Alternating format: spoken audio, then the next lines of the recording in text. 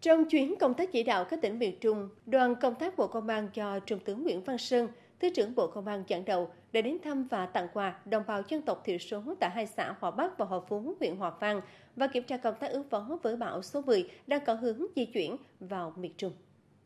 Đến thăm và tặng quà cho gần 500 suất, mỗi suất 1 triệu đồng cho đồng bào dân tộc thiểu số tại thôn Tà Lan Giàng Bí thuộc xã Hòa Bắc và thôn Phú Túc xã Hòa Phú gặp nhiều khó khăn trong cuộc sống do ảnh hưởng của các đợt bão lụt vừa qua với tổng trị giá là trên 550 triệu đồng.